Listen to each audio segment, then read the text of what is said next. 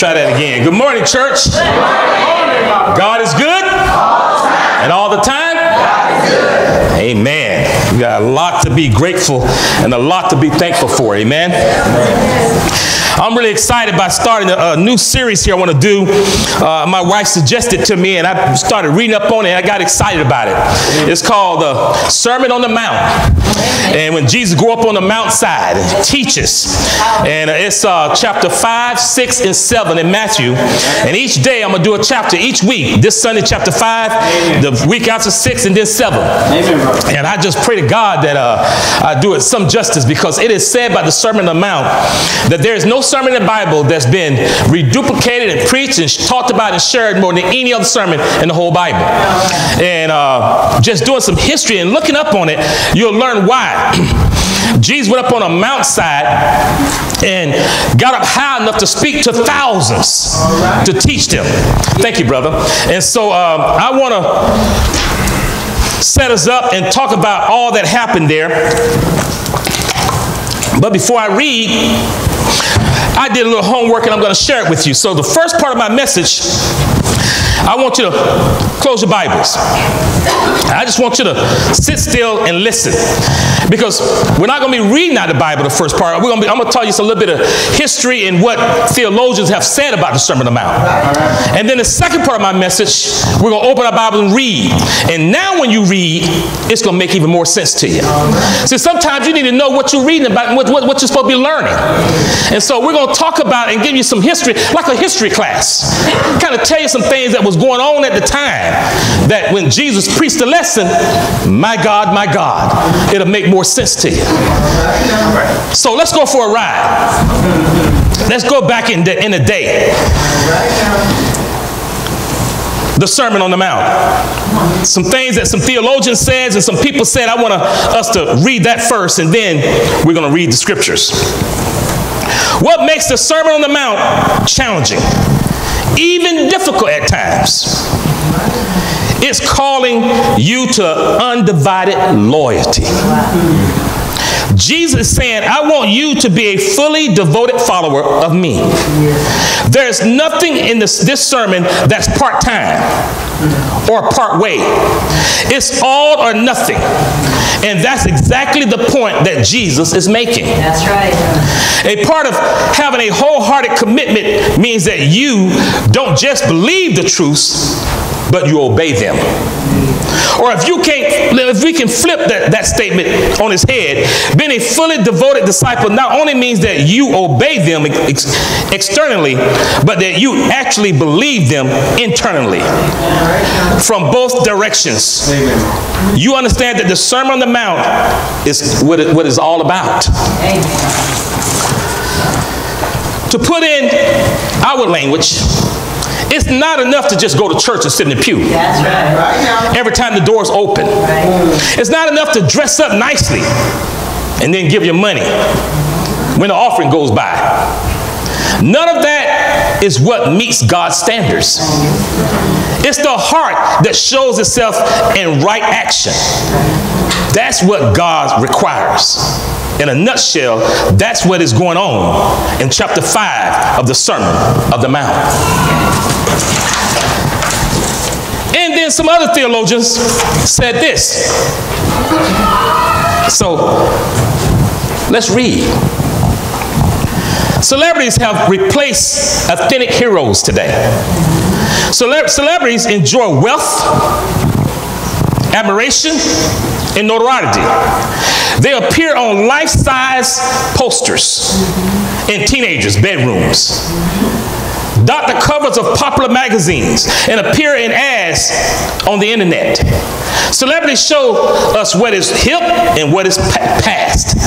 They tell us what we should eat, drink, drive, and wear. And many people dutifully obey them. Celebrities owe their lofty status more to advertisement, sponsor, and media exposure than to noble qualities of their character. Yet, when high school students in Brooklyn, New York, were asked in a school of thousands what they will most likely be when they grow up, Two thirds in the school said a celebrity. Jesus was not even an afterthought. The greatest man that ever lived. But our media and all that goes on, our kids want to be a celebrity. As I was reflecting on how, thus, as much as young people have gone gaga over Lady Gaga, I read the word of Jesus. Blessed are the poor in spirit. Blessed are those who mourn. Blessed are the meek. Does Jesus not understand that to attract followers and boost your numbers, you need star status? Surely he would attract more media attention if he taught instead. Blessed are the wealthy. Blessed are the beautiful. Blessed are the almighty. And blessed are the dollar. Today, we're going to look at Jesus on the Mount. Amen.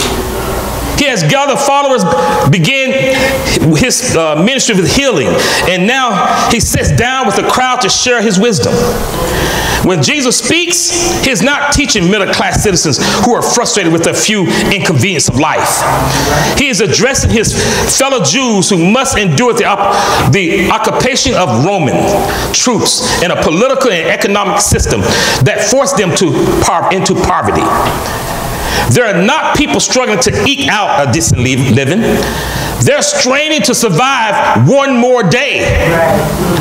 These people live in fear beneath a regime, regime that has no qualms about executing anyone who steps out of line. The Romans view such killings as an opportunity to rem- remind those who, who live on their property or occupy their land uh, the importance of resisting the Roman Empire, that you must not. Threat of death is the essence of Rome. Rome peace was not an ideal in which weapons of war were beaten into agriculture tools, and people were free to respectfully disagree with the government. Rather, the Romans equated peace with order and obedience. Right. Roman troops maintained peace by crushing all opposition. Right. In what is known as the Sermon on the Mount, Jesus speaks to people who are struggling to survive foreign domination and believe that their desperation is a clear sign that God is punishing them. It is to people who live in poverty, who live in fear, who believe that their plight, plot is punishment from the Almighty, that Jesus says, Blessed are you. The words of Jesus must have been so startling, startling that many thought they had misunderstood him.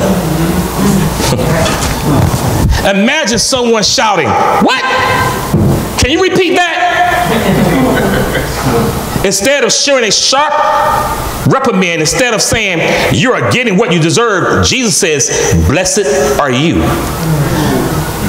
This morning reading contains the open, opening words of Jesus' sermon known as the Beatitudes. Right. He pronounced nine blessings which function in two ways. First, they declare God's favor on people who suffer. And second, they uh, illustrate those actions that are in harmony with divine desires. They serve as both a word of comfort and a word of challenge.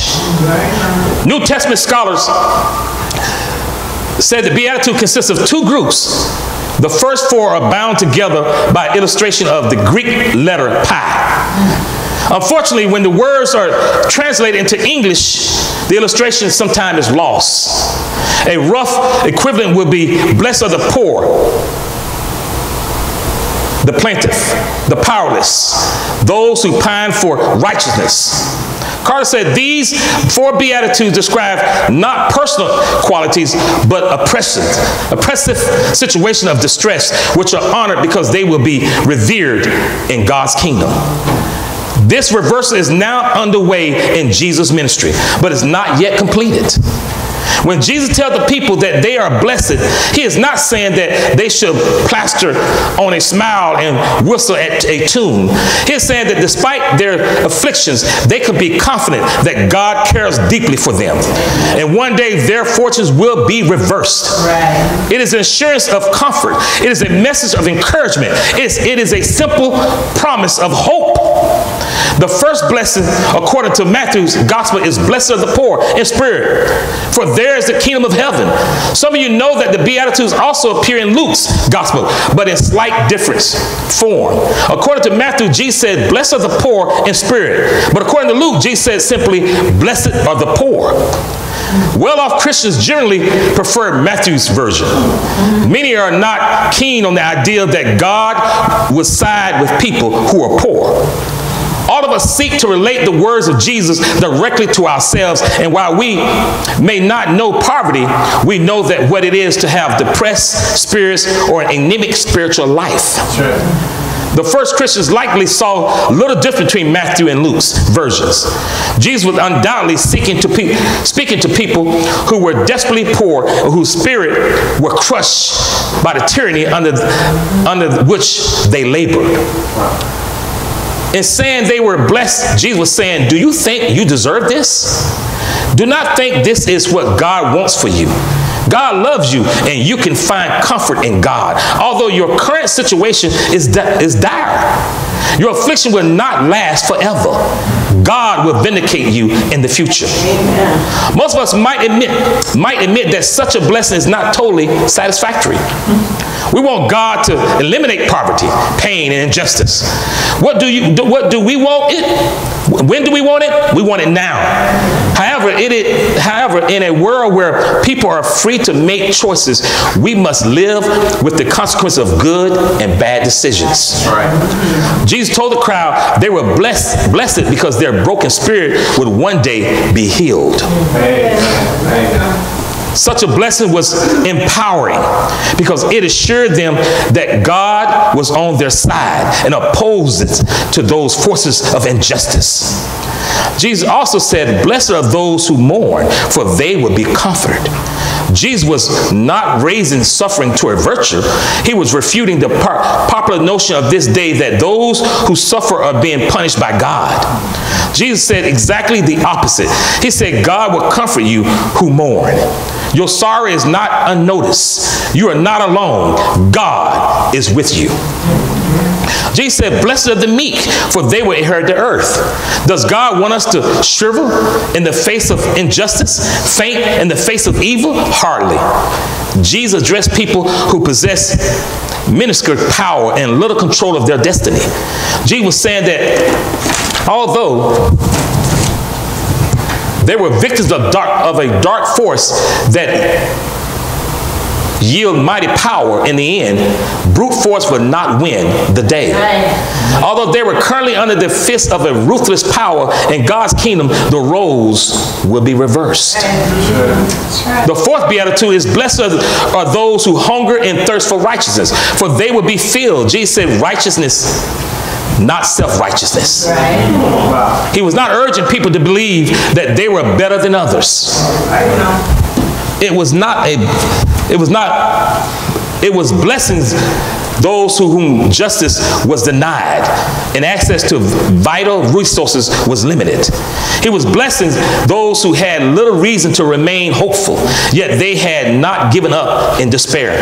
They continue to yearn for the, for the world God envisions, a world where people look out for each other, where generosity flows like a river, where virtue succeed and remain on top, and where justice thrives in every community. Amen. Beatitudes 5 through 9 represented second yet they moved away from circumstances people experience and to actions God challenged us to take. Jesus said, Blessed are the merciful. They the world knows too much cruelty, intolerance, and harshness.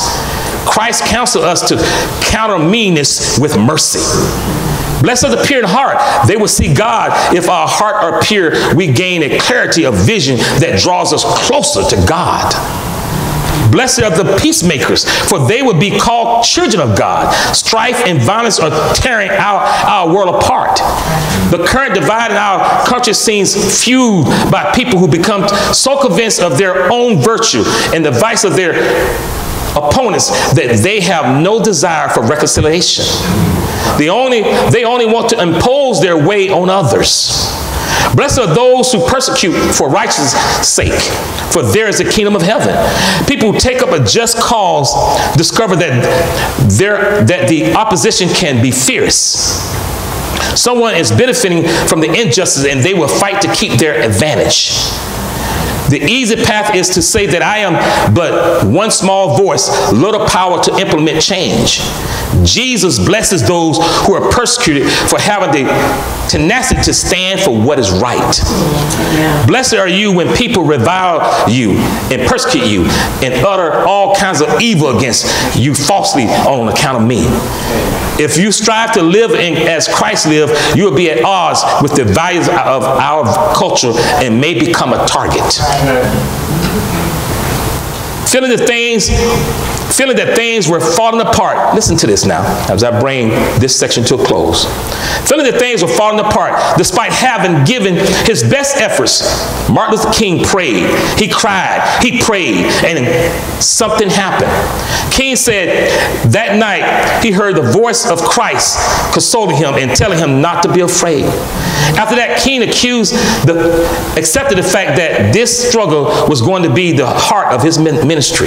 He tackled segregation laws with more vigor than before and soon embraced peaceful, nonviolent tactics. A Quaker peace actor said that when he visited King in early 1956, King, six, King's house was filled with an armor, an arsenal of weapons. But after the kitchen Epiphany, King gave up the guns, saying they had to go if he was going to follow God's agenda. No one confused the Beatitudes with nine tips to celebrate status, celebrity status. They will not make you wealthy or powerful unless you understand wealth and as riches that cannot be bought, and power as the courage and unwavering determination to conquer darkness with light. Amen. Amen. In closing, this section. To be blessed is to live with an unquenchable hope that in the long arc of history, justice will prevail because love is more powerful than hate, right. peace more covenant than strife. So blessed are you who live a Christ-like life of compassion because even though it may attract persecution, in the end, the way of God will triumph. The way of God will win.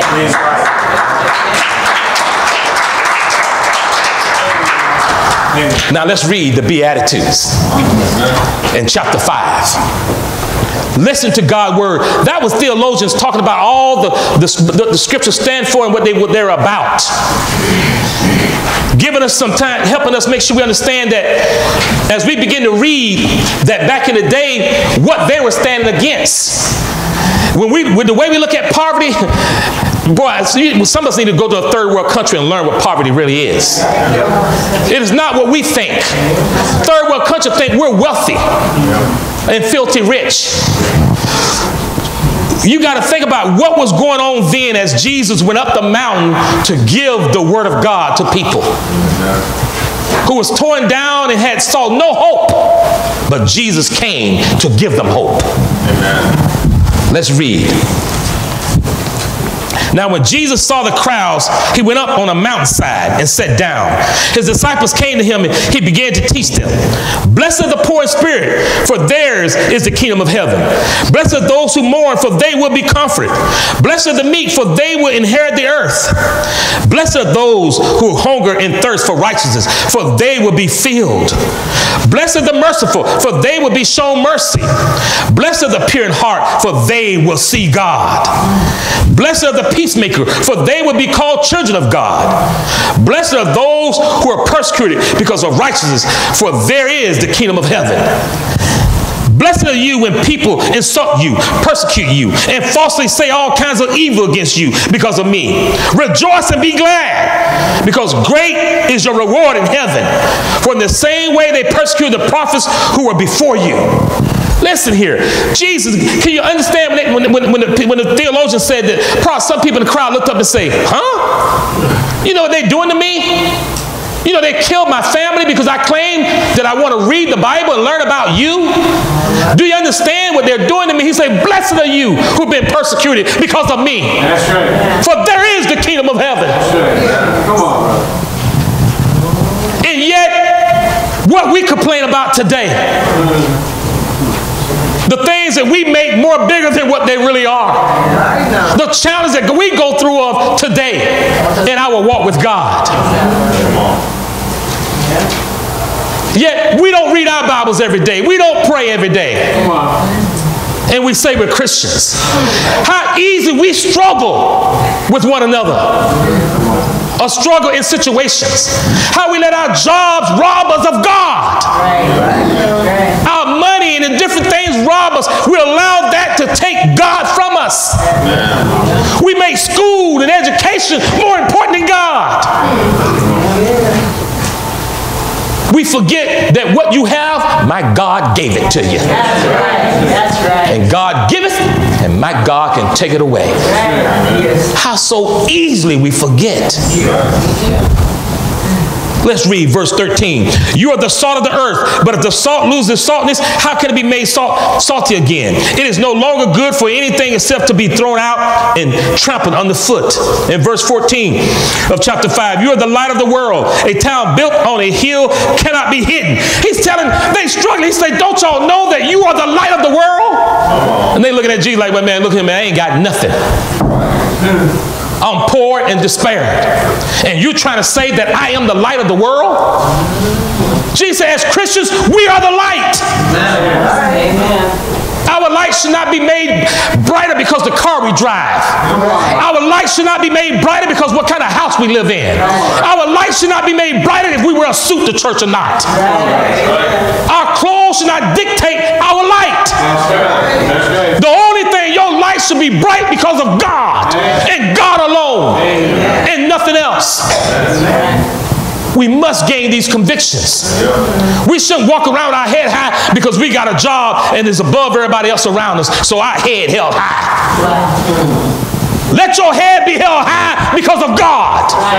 Because that little job you got, He gave it to you. That's right. We must grow in these convictions. I have no desire to lead thousands upon thousands to hell. Right.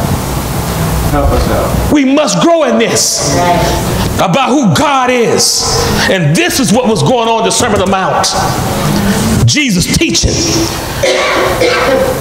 Look at verse 15 again. Neither do people light a lamp and put it under a bowl.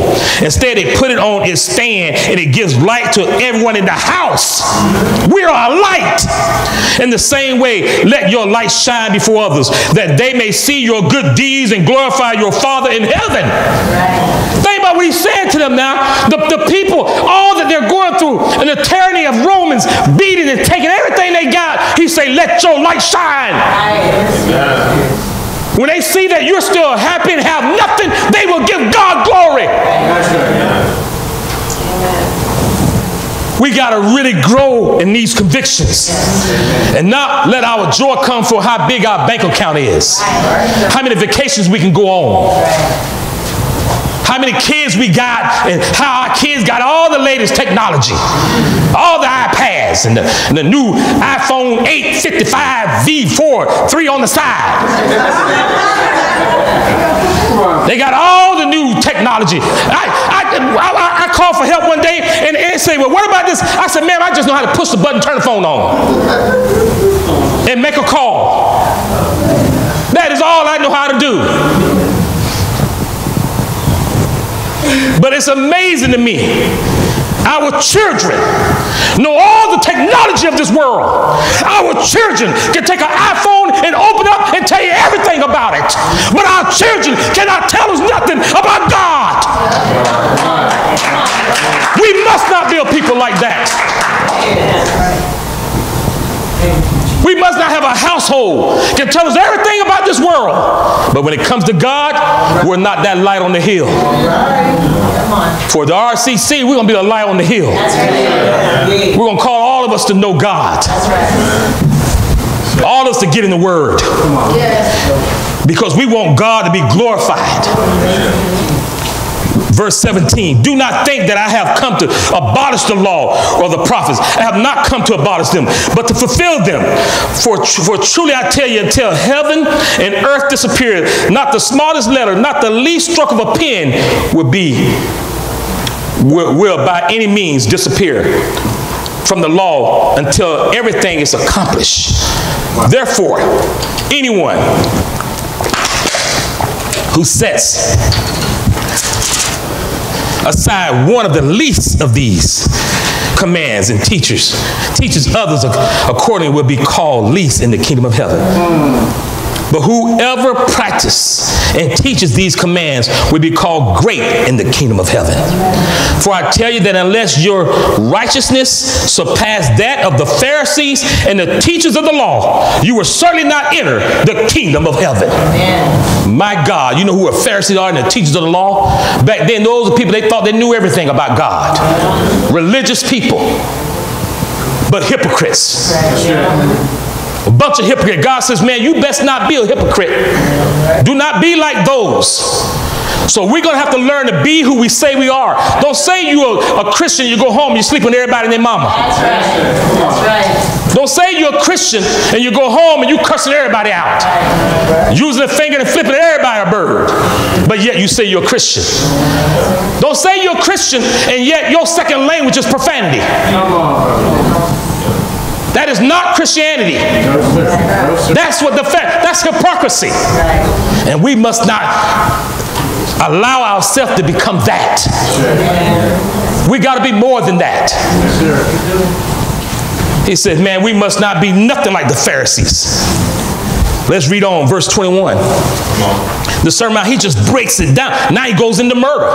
You heard that it was said to the people long ago, you should not murder. Anyone who murders would be subject to judgment. But I tell you that anyone who is angry with a brother or sister would be subject to judgment. Oh my God. He went from murder to, oh, I'm going to tell you something else. Oh, you think murdering is bad? Then be mad at your brother and sister. I would count as just as equal. We have no right to be angry towards each other. That's right. It is a sin, is it wrong? We got to get resolved. Who said it this morning? Was saying you got to not even even the community was saying be resolved with those around you. God says it's wrong. You can't harbor feelings because it will destroy you and destroy those who listen to you.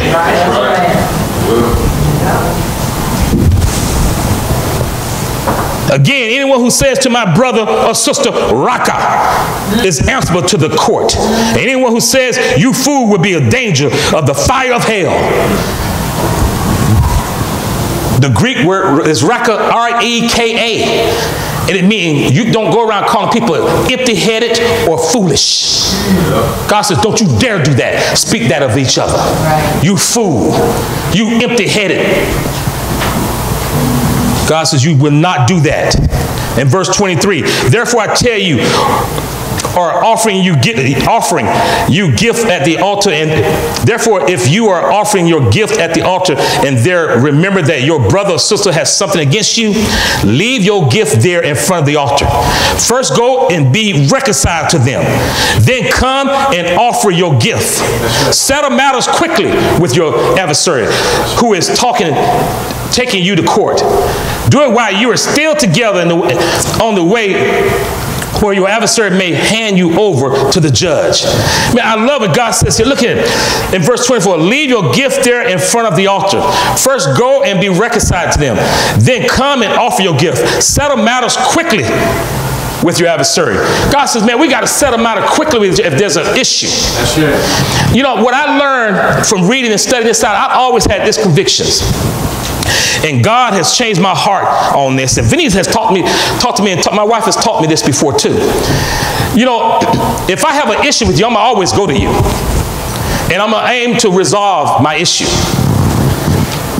But if you have an issue with me or anybody else, it's your responsibility to go to them. But the scripture just took it to a whole nother level. He said, if you know they have an issue, oh my God. Didn't say just if, if I got an issue with Carol, I go to Carol, and if Carol got an issue with me, should he come in? He says that. But then he says, if you know they have an issue, go get it resolved. Go, go, go get it resolved. If they, not just you have an issue, but if you know they have an issue with you, go to them. Say, what's up? What's going on? Destiny, I know you. So what's going on? What's up? Let's get this resolved. That's what the Bible said. You know, and I used to, I used to feel like, well, they got that's on them. They want to go to hell, go to hell. I ain't got time for. I'm gonna, I'm gonna do, I'm gonna do what's right. I ain't got time for this stuff. I don't have no issue. They got an issue. So let them go to hell. That's what they choose. See, because we choose to have feelings and issues. That's just a choice. But we got to love each other enough to know if they, you know, your brother, sister have, have some feelings, go the extra mile to help them resolve it. If they choose not to resolve it now, it's really on them. And my God will deal with them. But you got to have a clear conscience. You can't be saying, man, I ain't got no issue with them. They got an issue with me, so I, I, I don't have no issue with them. But when you find out that they have an issue, take it to them. Sit down and open the Bible and say, let's talk. And this got to get resolved. And then if still don't get resolved, bring your deacons and bring your evangelists involved with it. If still don't get resolved because they don't want to get resolved, you need to know this. So help me God and let me die, I will expel them. The Bible tells me to. If they refuse to be resolved. He expects us to get resolved and not have feelings towards one another or whatsoever. Amen? The world, come on, let's be real. World, you got attitude, man. They- Man, I wish, I wish you would come knock on my door. You stay over there, I'm gonna stay over here. Don't cross the line. I don't have nothing to do with you. So they don't get resolved. But we're in the world, but we're not of the world. That's what that's talking about. We must be the example and be the light, amen? They must see Jesus in us. Are you with me? Now, let's look at verse 27. You heard that it was said, You should not commit adultery. But I tell you that anyone who looks at a woman lustfully has already committed adultery with her in his heart. If your eye, right eye calls you to stumble, gouge it out and throw it away. It is better for you to lose one part of your body than for your whole body to be thrown into hell. If your right hand causes you to stumble, cut it off and throw it away. It is better for you to lose one part of your body than for your whole body to go to hell. Jesus is teaching thousands. Then despair. Romans are just treating them bad. and Jesus said, no, but let's deal with you. We're going to talk about what you doing. Your walk with God. Say, I don't want any adultery among you guys out there. That's right. And you better be walking around lusting for somebody else's woman. He just breaks it down. He's oh yo oh because because they can't see it, but know that I see it. That's right. See, that's how we got to live our lives. That people might cannot see what you do, but God sees what you do. That's why it just amazes me when I study Bible with people who say they want to become Christians. See, if you say you want to become a Christian, you need to know one thing God sees everything you do. It's not about trying to please me or anybody else. My goal is just to open the Bible and show you the truth. Right. But then if you're not responding to the truth, and, and, and for some reason you're on shaky ground, it's not my job to play, what's that game called? Battleship. B8, miss. C3, miss. F2, hit. F5. Like, I got to figure out what's wrong with you. It's our responsibility to be open and say, This is where I'm at. I know when I studied the Bible, I had to say, Look, I avoided studying the Bible because I knew the Bible would tell me I couldn't have sex with a bunch of women no more. So I wouldn't study the Bible. Right. But I had to come to the convictions that I no longer want to live that way anymore. And then when I decided I didn't want to live that way anymore, I had to say, okay, now, I mean, I can't steal no more. I can't lie, cheat. I know I ain't want to read. That's why I ain't want to read the Bible. But when I got tired of my life, I read the Bible. I said, okay, I'm going to change. And I changed. I was 21 years old and decided, okay, I'm ready to change my life. I'm not living that way anymore. I'm coming up on 55, so that'd be what, 34 years later? I'm still standing. I did not live that way anymore. Amen. I got married, I never committed adultery on my wife. Amen. That's right. I stayed faithful That's right. because of God, not because of my wife, because I read my Bible. See, we've got to come to conviction about what the Bible says. We got to get to the point when we read the Bible, it does something to our hearts. Too many times, and I'm still confused. Our young people, it blows my mind. Our young people, can, a, a song come on the radio. Oh, that's my song. That's my song. they get all into it. But Bible and they go, oh, this is boring. When, when, when we going to get done? They go to church and they, oh, okay, are we done yet? Are the Word of God is not doing anything to our people's hearts. And family, moms and dads, you better take responsibility. What are you teaching them at home?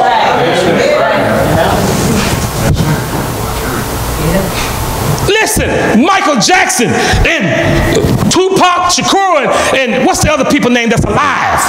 They ain't got nothing on the Word of God. They ain't got nothing on the Word of God. You guys, like the guy talk about these celebrities, they're the bomb to you. And I can't figure out why. And yet none of them can walk on water. Come on now. None of them can turn water into wine.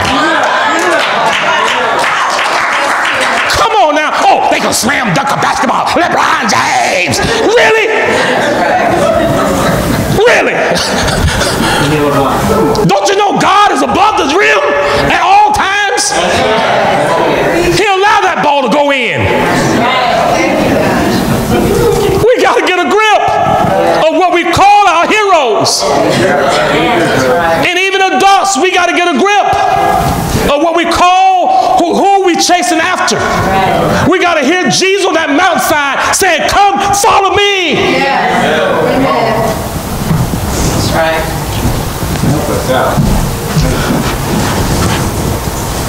Well, let's read on.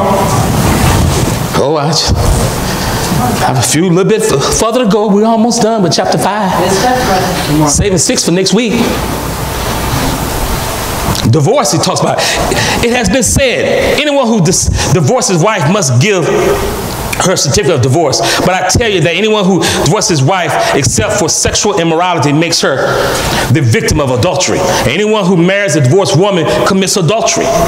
Again, you have heard that it was said to the people long ago do not break your oath. Here we go. But fulfill to the Lord the vows you have made. But I tell you, do not swear an oath at all, either by heaven, for it is God's throne, or by the earth, for it is for it is his footstool, or by Jerusalem, for it is the city of the great king. And do not swear by your head, for you cannot make even one hair right or black, white or black. All you need to say is simply yes or no. Anything beyond that comes from the evil one. Okay, that's pretty straightforward. I swear to God, you lost your mind. I do that. Now let's see how many of y'all gonna tell the truth. How many of y'all ever done that in your life? Raise your hand. That's it. You can't be doing stuff like that. No, that, no, that- that's wrong. I'm a, I promise I'm gonna get it done. I, I swear to you. Why can't you just be, I get it done and then you go get it done? That's what the Bible says. Let your yes be yes and your no be no. God said, have some character and convictions. We must be a people that hold the godly convictions. And let our yes be yes and our no be no. That's right. Look what it says here in verse 38. You have heard that it was said, an eye for an eye and a tooth for a tooth. But I tell you, do not resist an evil person. But I tell you, do not resist an evil, an evil person. If anyone slaps you on the right cheek, turn it to them to the other cheek also. And this is why it took so long for me to become a Christian. that wasn't in the Bible. I added that. You understand what we just read? Well, no, no, you don't. Read again. You don't, you don't understand it. But I tell you, do not resist an evil person. If, if anyone slaps you on the right cheek, pow, turn to the other one and cheek, turn them the other cheek. And if anyone wants to sue you and take you, uh, take your shirt, hand over, over, hand over your coat as well. They slap you, give them the other cheek. They want to sue you, take your coat off and give it to them. This is what God says. Can you imagine if we really live like that as a society? God said, I'll fight your battles. You don't have to worry about it.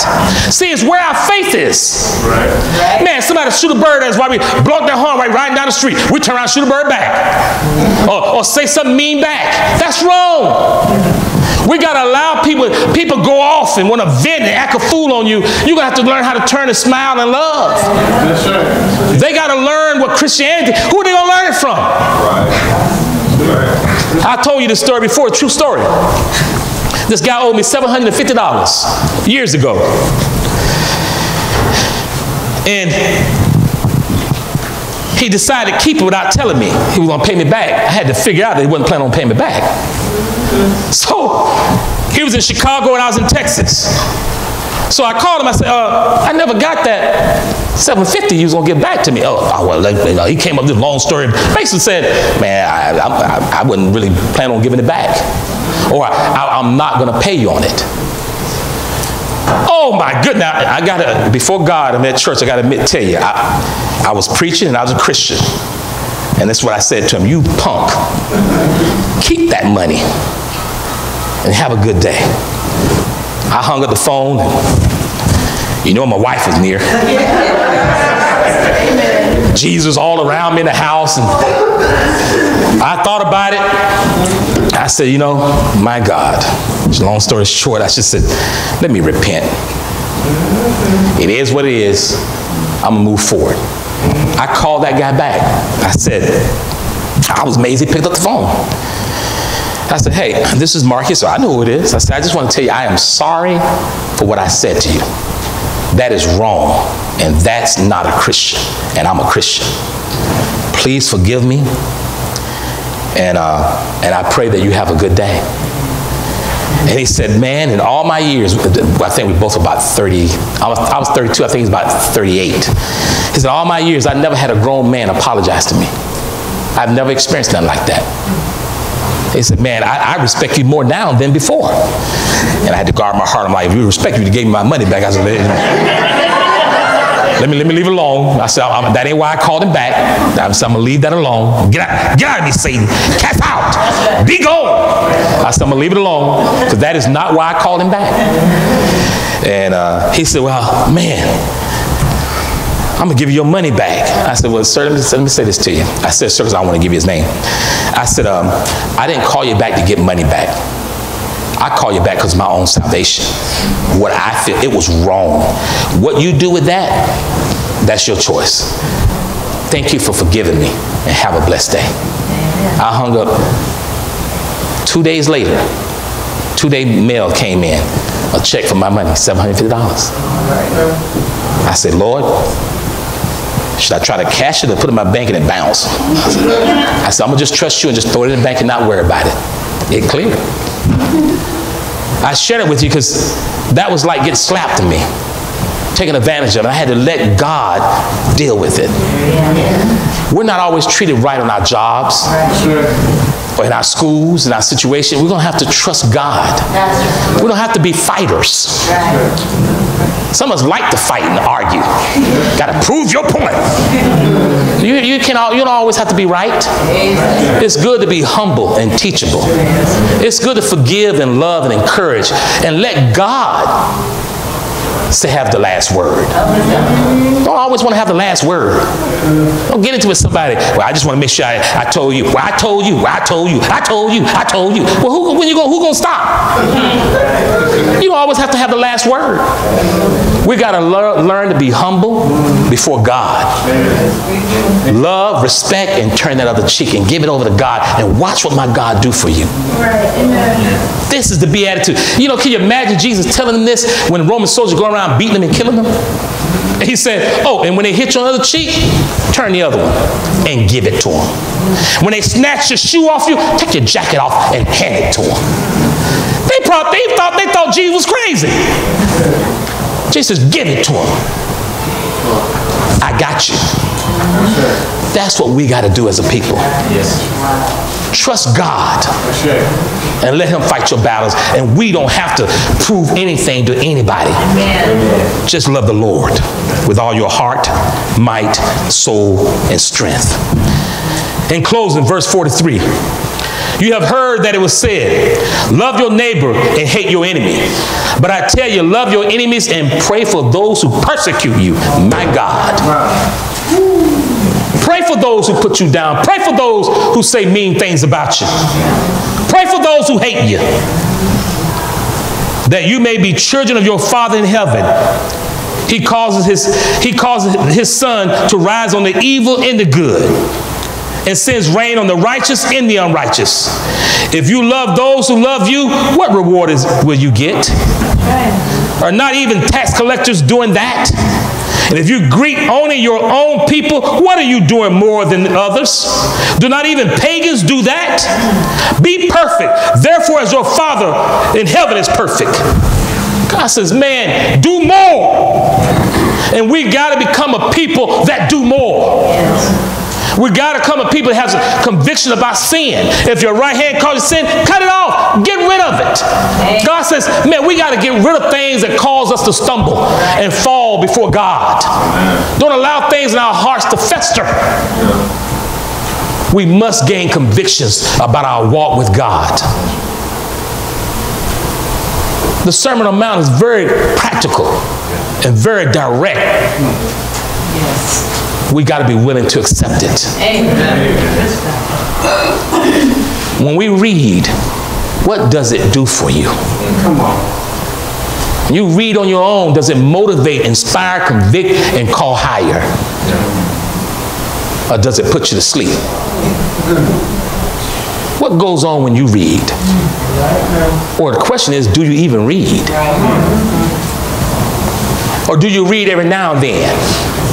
What if God only came in to help you every now and then? Come on. We got to stop allowing the Word of God to be in our life, and yet we do nothing with it. We got to become a people who takes God's words and obey them. That they become a light on the hill for us, a light in our household, a beacon light that keeps us together as, in our marriages, that teaches how to raise our children, that allow us to live with joy when we have nothing, yet we got everything, that helps us walk on water and yet not sink every time a trap of a sinkhole by Satan comes around and it swallows us in. That we'll be able to stand, hold our head high because we got God. Feel good about where we are because our relationship with God. We got to stop feeling good about where we are because what we drive, on. what house we live in, where we live at. We got to learn to show no favoritism towards anybody about anything. And be willing to learn from everybody about everything. Because none of us have arrived. We have not arrived until we get to heaven. Demise, we're not there yet. And I hope to God that we can make it every last one of us. But in order to make it, we got to be willing to accept God's words and obey them. Next week, I'm picking up in part six, part two, chapter six. It, man, Jesus even getting more into it. And as you we talked about, if you understand the setting and what they were against, and hear Jesus' words, my God, I pray that it inspires us even more. Amen. Let's pray. And my singers can come up and sing, My God is awesome, as we close. If you can get on your knees, let's ask God to move our help, move our hearts. Dan, if you can come pray for me. If you got to sit in chairs, okay. Let's go ask God to help our hearts. Thank you, brother. Let's pray. Father, we thank you so much for this message, Father. We thank you for the Sermon on the Mountain that Jesus gave, Father. God, I pray that as we listen this morning, it's just like we were sitting there listening to Jesus' words, Father. God, as Mark read from the scriptures, God, that God, that God, do the scriptures, do they move us, Father? Or we just heard a story, or was it something that was real to us, Father? God, I, I pray that this morning, God, I pray we don't stop here. I pray we go back through these scriptures, God, and God, let us just examine our hearts, Father. God, I pray that we come to know Your word, Father, and that we trust in it, we believe in it, God. But God, it won't help us unless we read it and understand it and we listen to it, and that when we do listen to it, God, we apply it. Father, I thank You for giving us Jesus. I thank You that He became one of us, and God, that how the things He He was saying, uh, God, He understood where the people were at. He knew their oppression, Father, and He understands ours. Whatever we're going through this morning, God, Jesus knows what we're going through. Yes. Because he is alive. He was one of us. He knows what it feels like to be hungry. He knows what it feels like to not to be low on money. He knows what it feels like to be going through pain and sickness and losing loved ones and oh, God, anything we can imagine, losing a job, whatever it may be, God. He understands it. Yes. But he simply wants to know, God, that he's take, he's taking it all on for us so that we don't have to carry it, Father. I pray, God, that the day can be different for us when we Please, leave here. That we hold on to your word and we, we grab onto the hand of Jesus. In Jesus' name we pray. Amen.